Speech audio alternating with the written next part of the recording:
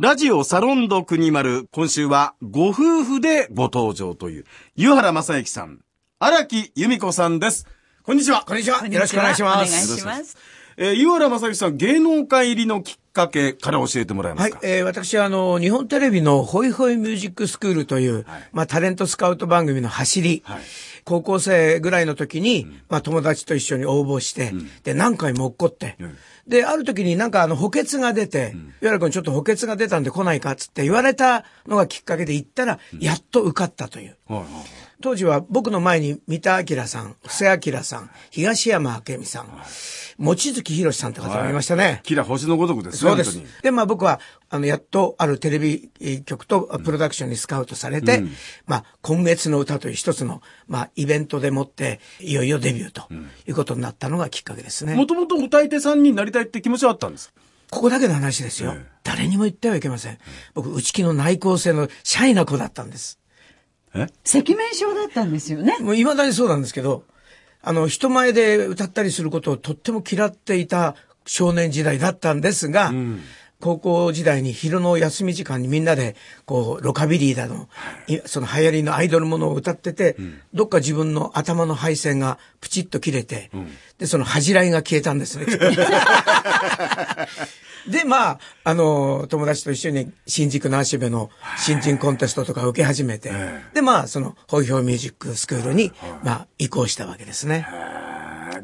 あれ、スイングウエストこれはあの、堀井武雄さん、ホリプロの今 CEO になってますけど、はい、堀井さんがお作りになったカントリーウエスタンのバンドですね。はい。はい、まあ、平尾正樹さんを中心に、カントリーウエスタンロカビリ。ー。うん、僕は、本当はソロでもって、まあ、その、ホイホイでスカウトされた事務所、うん、東洋企画という事務所にスカウトされたんですが、はい、レコード会社どこやっても全部落っこってしまって、うん、で、しょうがない。ちょっとお前スイングウエストで、あの、前歌兼バンドボーイ兼で勉強しろと。言われて、やってるうちに、突然にグループサウンズのブームがブワッと来ちゃったんですよ。それでもってお前、リードボーカルなって言うから、いやいや、僕あの、ソロで行きたい。いいからリードやれ、みたいな。それでもってメンバーの一員になった次第ですね。で、23歳でまたソロになるんですよね。本来のなりたかったソロに。やっと元の、あの、望みに行ったわけですね。で、翌年大ヒット曲。あの名曲、雨のバラードに出会うという。はい、これも偶然ですね。バンド時代に一回、あの、レコーディングして、スイングエストがグループサンズになりましたっていう、まあ、発表をしたんです。はい、その時に、雨のバラードを、まあ、レコードにするために、レコーディングしたんですよ。さあ、今度は荒木由美子さんになります。はい、芸能界入りのきっかけ。これ、佐賀県の普通の、まあ、少女だったわけですけども、ええ、何だったんですか？歌手にはすごく憧れていて、はい、で、地元ののど自慢に出たら、うん、すぐ優勝しちゃうわけですよ。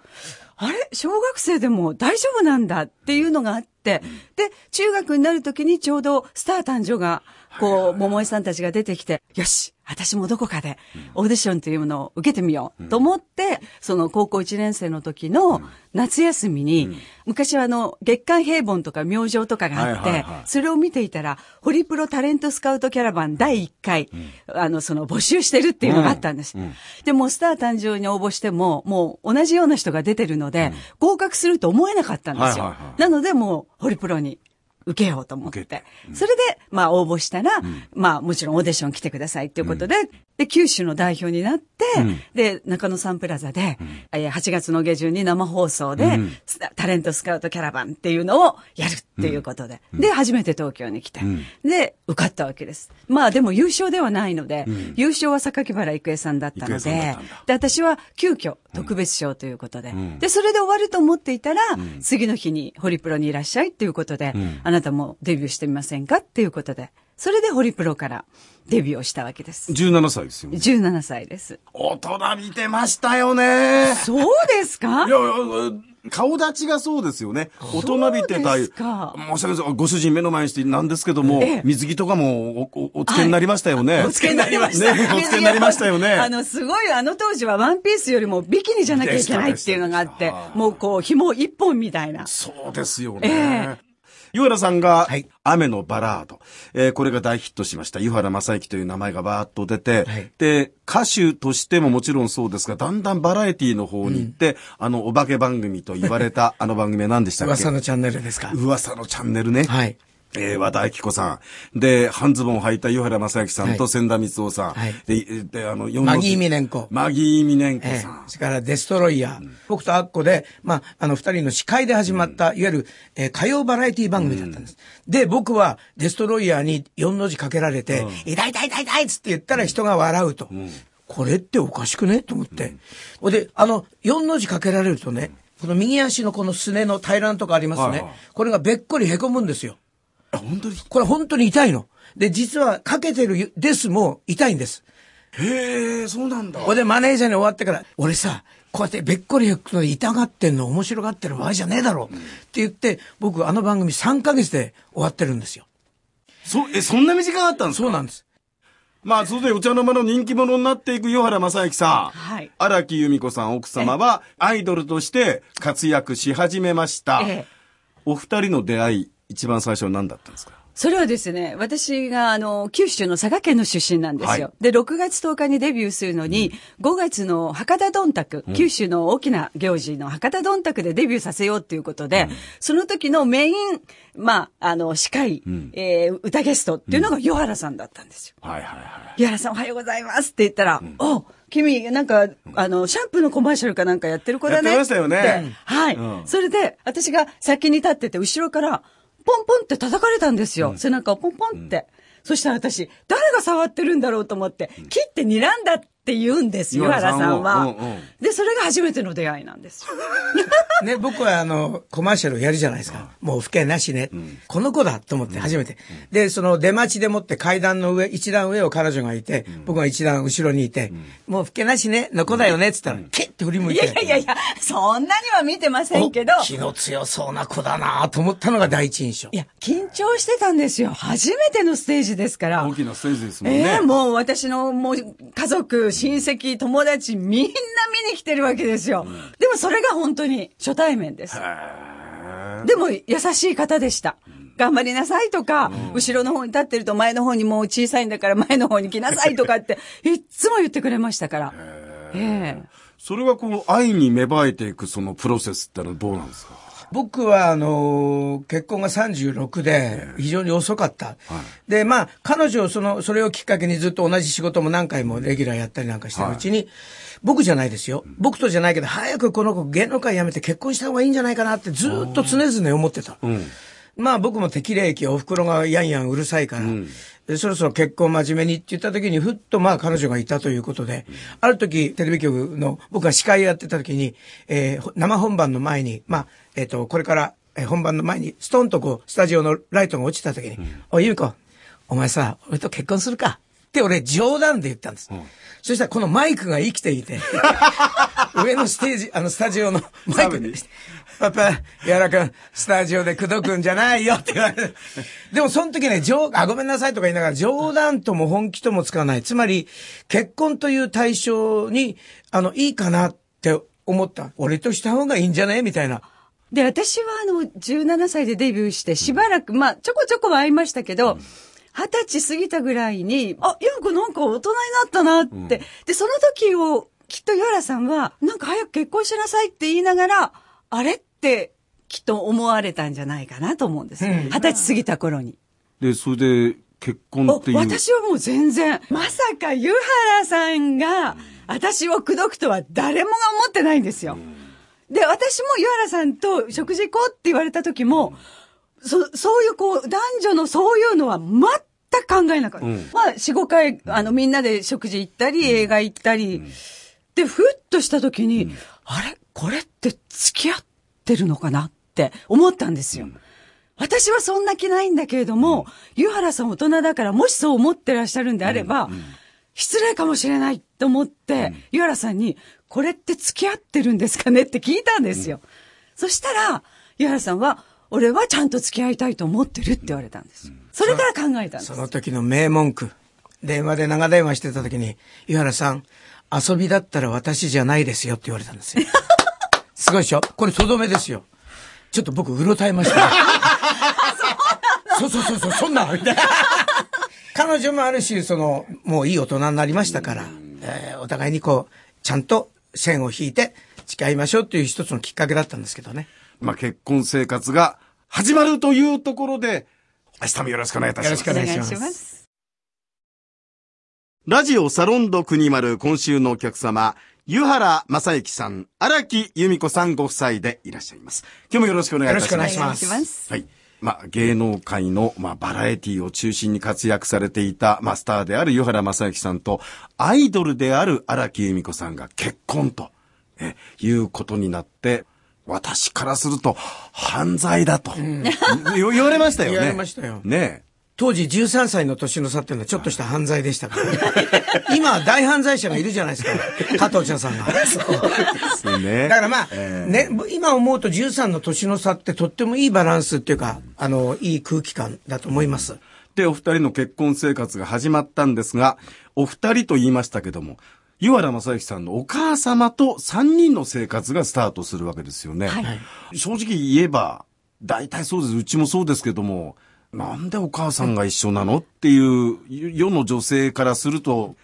どどうだったんですか、まあでも、私はやっぱり16歳で上京していて、うん、なんかこう家族って一人でも多い方が楽しいんじゃないかって、すごくこう素直な、うん、ものすごくこう変なことは全く考えない。うん、で、岩田さんがそのお付き合いを始めた頃に、母一人子一人で来てるんだけれども、っていうことをおっしゃったので、あ、これは今住んでらっしゃるところにそのまま私は結婚したら入るんであろうっていうことはもう思ってたんですよ。なので、違和感なかったです。私としては。へーさんどうだったんですか？いや、僕は来てもらえたら御の字で、それは、あの、もちろん結婚の条件としてお袋が一緒だよということは言う、もう一番最初に言いましたし、由美子と、あの、お袋の間に僕は軟骨役、クッション役で入るつもりでいるからよろしくねと。で最終的には何があっても全部俺が責任を取るから、えー、結婚してくれるかいっていうような条件で最初から始めましたんで、まあそれを彼女がすんなり受け止めてくれて、まあ始まった生活ですよね。でも、ゆみちゃん、ゆみちゃんって可愛がってもらったっていう。そうですね。うん、私もまあ23歳っていう、まあ若さもあったので、うん、とてもこう、素直に一生懸命お家のこともやれば、うん、きっとそれは伝わると思ってましたし、湯原さんもこういう明るい性格だったので、きっと私のことも守って、本当に守ってくれるんだろうなってことは、素直に信じてたんですよ。でも本当にそうだったし、で、まあ、湯原さんと13歳年が違うってことは、はい、お姑さんとも、相当の年の違いがあったので、うん、私が嫁いだ時66歳だったんですよ。はい、で、今66歳って思うと、すごく若いですけど、うん、23歳の私から、お姑さん66歳っていうのは、うん、結構私の荒木家の祖母に近い感じだったんですよ。はいはいはい、だから、お姑さんと歩いてても、あら、可愛いお孫さんね、みたいな感じに言われたんですよ。ああ、そっかそっか。だからきっと、まあ私が思うには、あの、お姑さんから見た由美子っていうのは、こう、およ、こう、嫁姑ではなく、こう、可愛い孫的な感じだったと思います。だから、ものすっごいもう、どこ行くんでも由美ちゃん。もう私も一緒に連れてって。だから、その結婚して私が年に一回だけ、あの、九州の実家に帰ったりするわけですよね。そうすると、私も連れてってぐらいな感じでしたね。いや、本当可愛かったんですよね、おそらく、お母さんは。だから、そういう意味ではもう、湯原さんよりももう正幸ってあんまり言わなくなるぐらい、そうそうなんだ。由美ちゃんでしたね。えー、荒木由美子さんがお書きになった介護の見方という、はい、えー、こちら5本があるんですが、あの、まあ、これ、誰でも、こう、人事ではないという、えー、年を置いていくと、いろんなところに、こう、体、あるいは心、まあ、本当は脳なんですけどね、にも、こう、いろいろ支障をきたすようになってくる、えー、湯原さんと由美子さんの、お夫婦生活の中で、お母さんが、ある日、ちょっとこう、えって思うことも最初に、あの、結婚して2週間後にもう倒れたんですよね。うん、それはもう血栓で、うん、血管が詰まってしまって手術をするっていうのがあって。で、そこからなんかもう私がお家のことを全部やるようになって、すべてをこう私に委ねるようになったわけですよ。で、まあ、孫が1年後結婚して1年後にできて、そう、余計またおばあちゃん的になってきて、で、もう本当に全て頼りはもう正幸は仕事でいないから由美ちゃん、何やるんでも由美ちゃんみたいになって、で、最初おかしいなと思ったのは、ご飯食べたかしらって言うんですよ。はい、で、一緒に食べたよ、お母さんって言うと、あ、そうねって最初の頃は言ってたんですよ。思い出してるのか、そうだねっていう形に言ってたんです。それがもう半年ぐらいするとご飯食べさせてもらってない。お金をそこに置いといたのを取られた。うん、で、正幸さんがうちに2階にいるんだけれども男が2階に住み込んでる。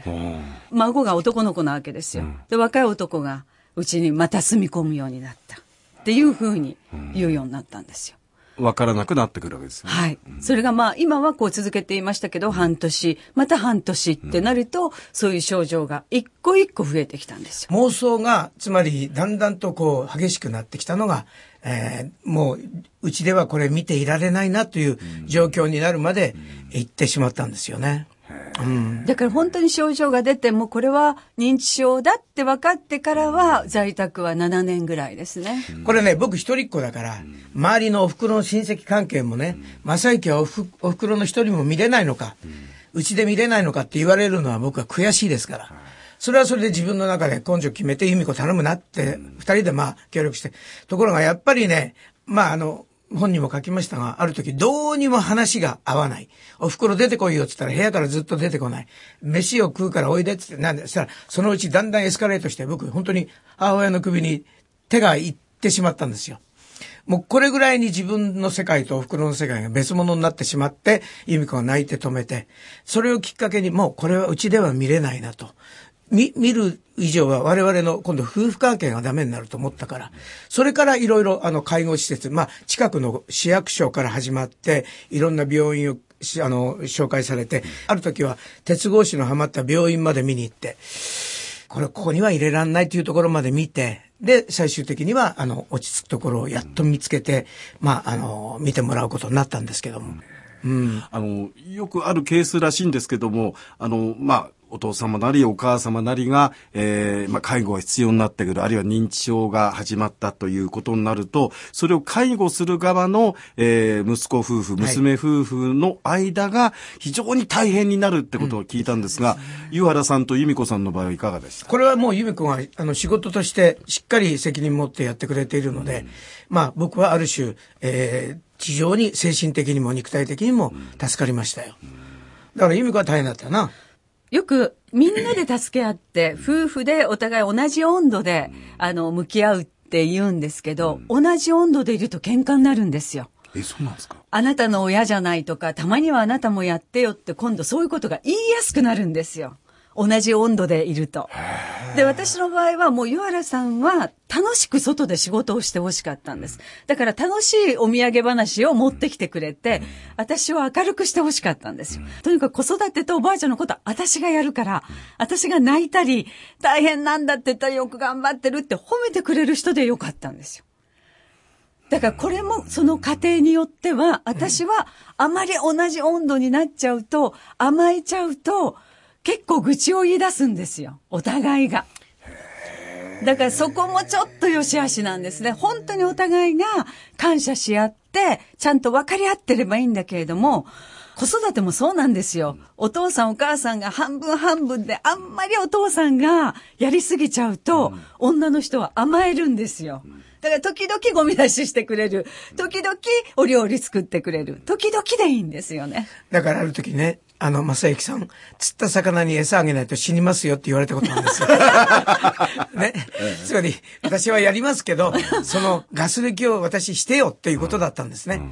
つまり、彼女の中でもう、膨れ上がってきた不安と不満が、もう見え、目に見えるんですよ。だから、ゆうこ、あの、何かあったら、あの、腹芸はやめよ。言葉に出すなり、そのガス抜きをしたいならしたいなり、つまりそこのやりとりは底辺の方でちゃんとしようっていうことを二人でまあ約束したんですけど、まあ釣った魚に餌はやらないつもりはないんですけど、結局、あの、仕事にかまけるというところもありますからね。だからお互いがこう、いつも合わせ鏡のように相手の気持ちを見通すというか、うん、その努力は少なくともしないと、うん、あの、円滑にはいかないと思いますね。あの、任せっぱなしも良くない。構ってあげないことも良くない。やっぱり、いつも気持ちを照らし合わせて、あの、見つめ合わないといけないっていうのは実感ですね。とにかくありがとう。感謝してるっていうことは、もう毎日言ってくれました。だからね、ワインと女性はね、褒めるべきだと思ってますから。はい。やっぱり綺麗に、あの、美しいことでまとめようということではなくて、褒めてスムースにいくんであれば、褒めるに越したことはないです。ねゆみちゃん可愛いよって、ね、言ってあげることは大事です。若い時遊んだね、それが教訓になって生きてるわけですね。はい、次行ってみましょう。えー、湯原さん、由美子さん、また明日もよろしくお願いします。お願いします。